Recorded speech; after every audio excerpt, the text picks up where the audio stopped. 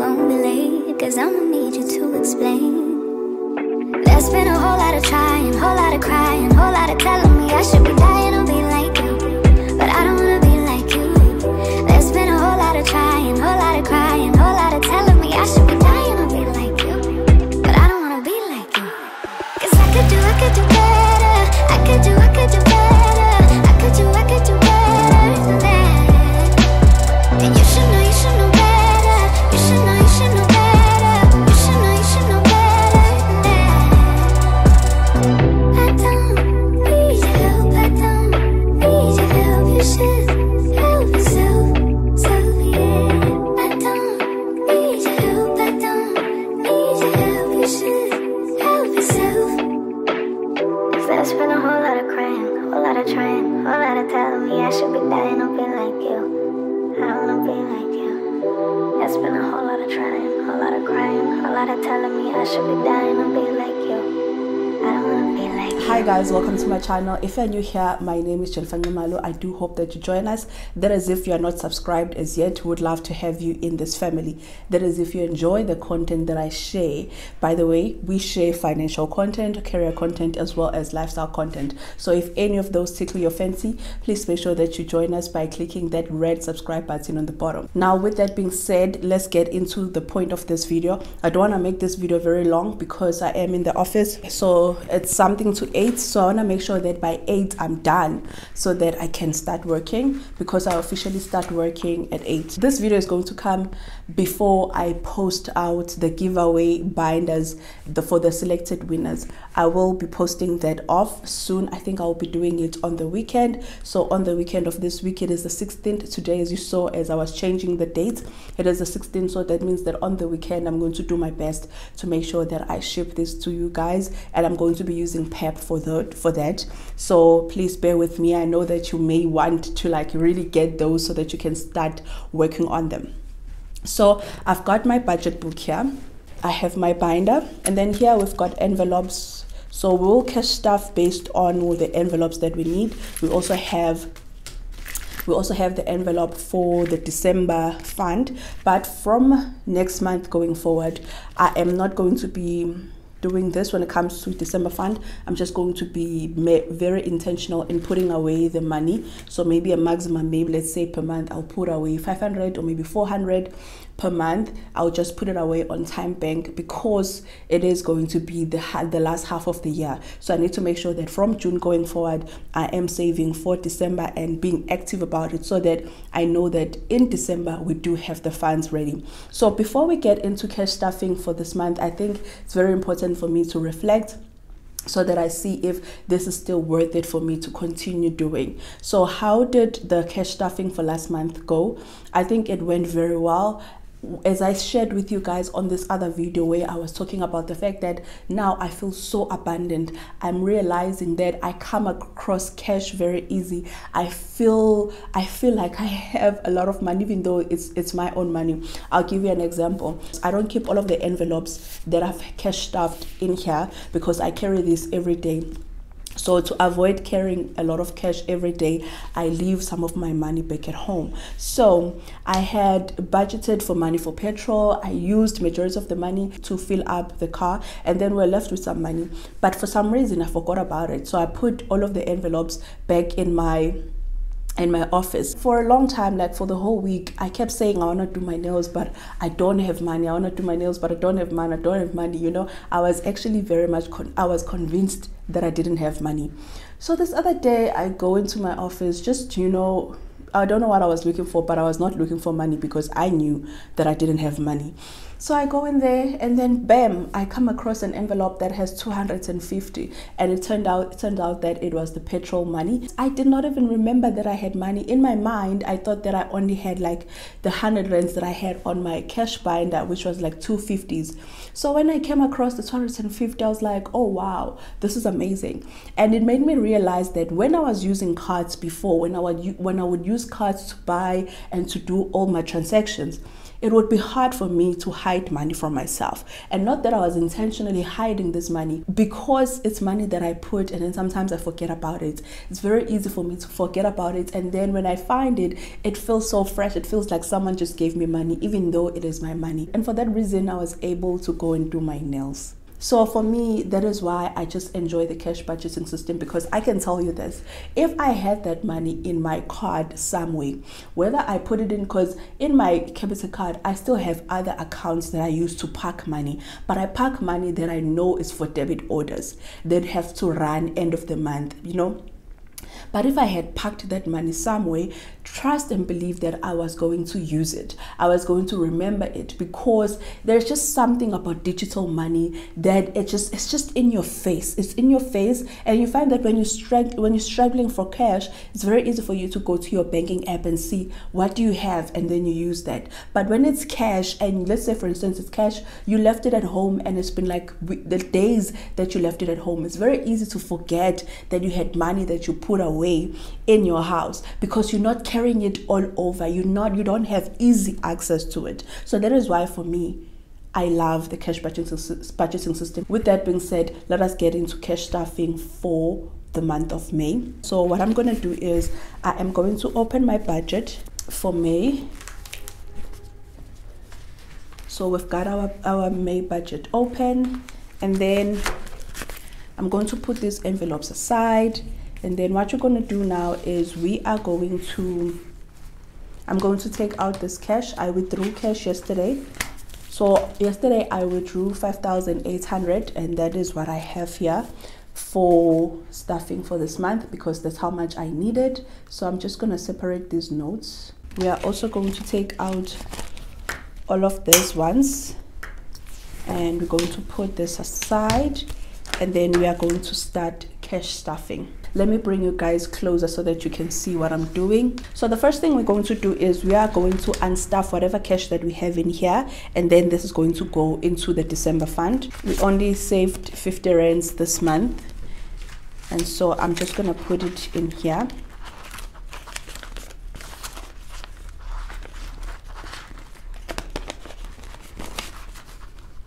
So that's gonna go aside and that stays at home. I never really carry that around.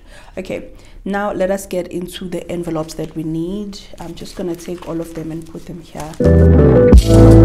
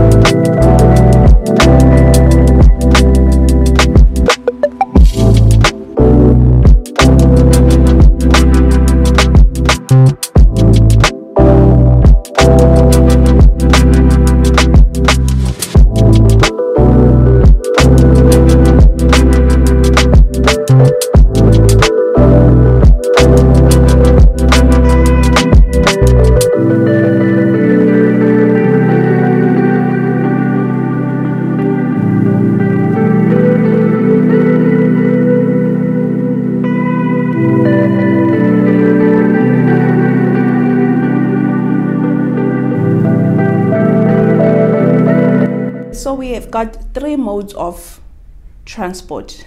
so we've got the bus, we've got the Uber, we've got the petrol. I don't use the bus as much now. However, I still do feel like I need to cash stuff for it just in case I do need it.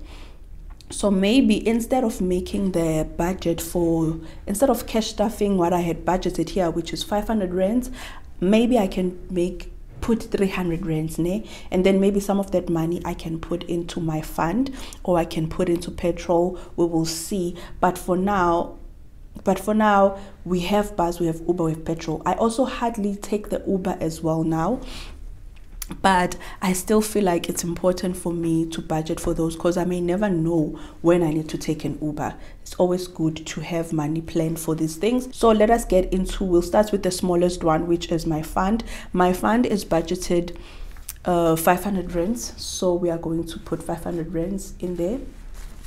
So one, one, two, three, four, five.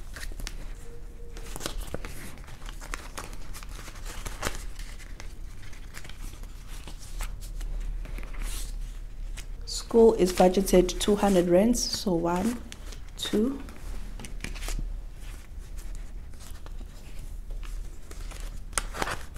And by the way this money for school is just for miscellaneous things that come up when it comes to school requirements. So you find that most of it every every week every week they have a science project and you find that some of the things that we need for doing the science project i may not have at home. So when i have this money right here i'm able to just grab it and go buy whatever that we need for that science project. So i keep this money for those reasons as well as sometimes if i feel like i want to give her cash which is something that i don't normally do but maybe once in a while i'll give her maybe 10 rands for buying something at aftercare i take from this money. And then for bus we had budgeted 500 rands but i think because i had just loaded on the bus ne i had just loaded on the bus i normally load 100 rands. So and 100 rands takes me a very long time it takes a long time. So i think instead of putting instead of putting 500 rands for bus i think let's put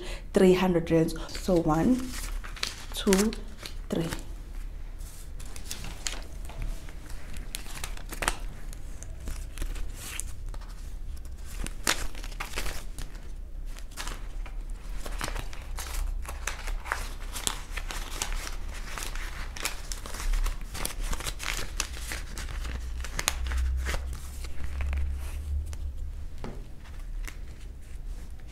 and then for Uber we are also going to put 300 are these the new notes? Oh okay. This is very nice by the way. Let me show you guys. First time I came across a new note. This is nice.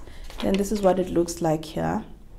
It reminds me of another currency the way that it is. It reminds me of another currency. It's beautiful it's beautiful. Okay. For Uber, instead of putting 500 rands, we're going to put 300 rands as well. So it's going to be one, two, three. I want this to be on the top.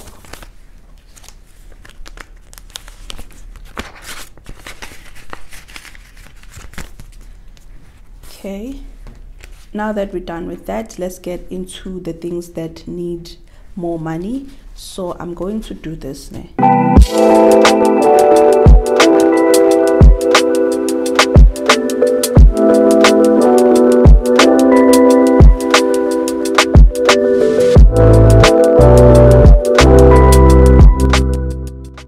Let us get into the weekly allocation as well as petrol but let's start with petrol.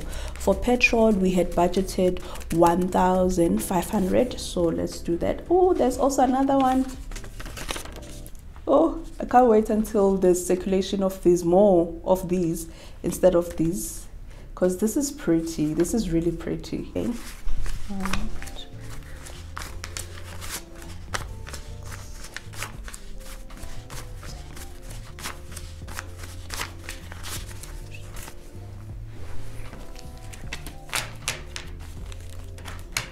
so we're going to put 1500 on petrol and I do need uh, I don't really need to fill I don't need to fill up now but soon I'm gonna need to fill up the car. For week one we budgeted 1500 so let's do that. Let's count that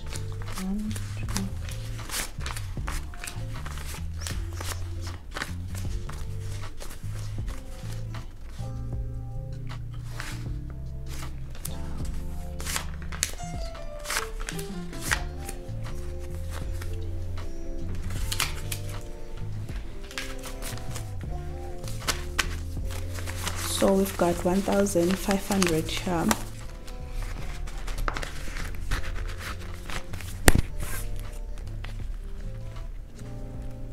okay week three week two we budgeted 1100 so let's count that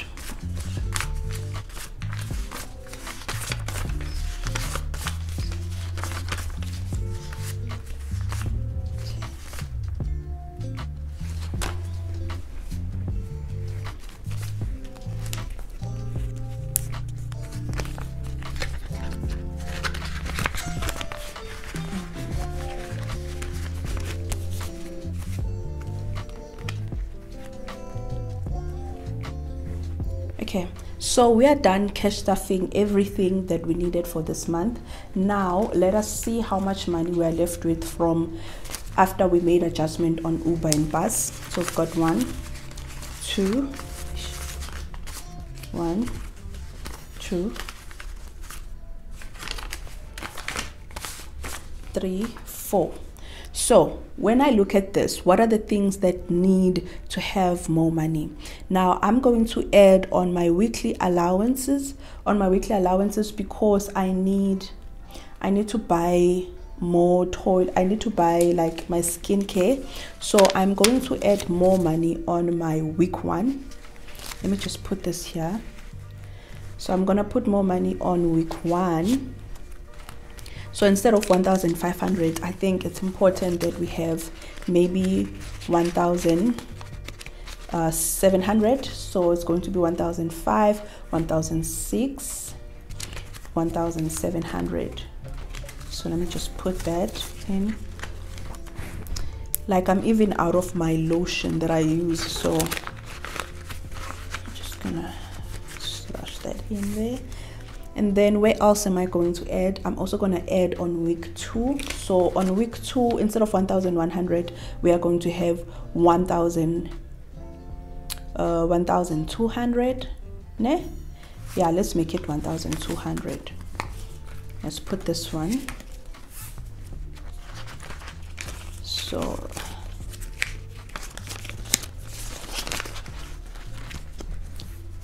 and then the last one that we are going to add because we have 100 rands here i think i'm going to add on my fund. Petrol i think 1500 is fine. If i do see a need to adjust on my petrol we'll do that next month